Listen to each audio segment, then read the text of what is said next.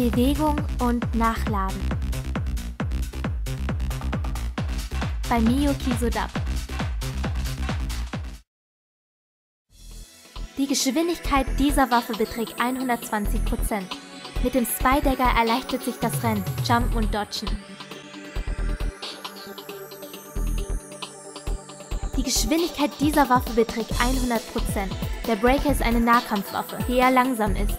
Besser sieht's aus bei den Attacken, die viel Damage machen. Die Geschwindigkeit dieser Waffe beträgt 70%. Einer der langsamsten Waffen. Ein guter Tipp? Der Spy-Dagger ist eine der schnellsten Waffen im Spiel. Tipp? Diese Waffe hat eine große Reichweite.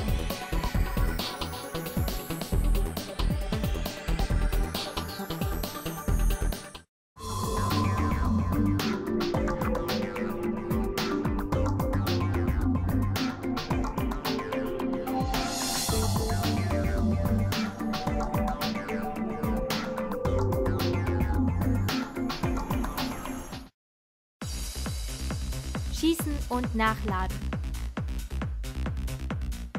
Fangen wir an mit dem Turret.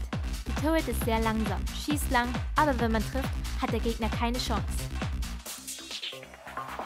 Menge der Munition 100 zu 200.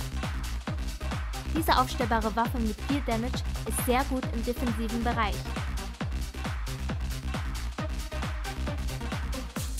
Die Submachine Gun ist eine der besten Striker-Waffen. Viel Damage, schnell und das Nachladen geht flott. Die Munition ist unbegrenzt, also 30 zu unbegrenzt.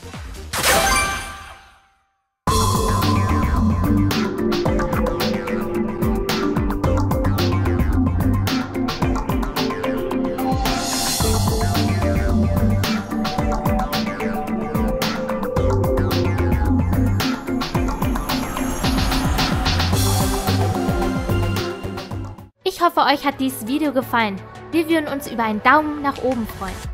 Ich bin die Mio und mein Channelname lautet Mio Kisoda. Dort lade ich Fandubs hoch. Falls ihr euch fragt, was das ist, das sind Clips, die ich neu vertone, ob allein oder mit Freunden. Meistens handelt es sich um Anime-Szenen, die ich dann auf Deutsch dubbe.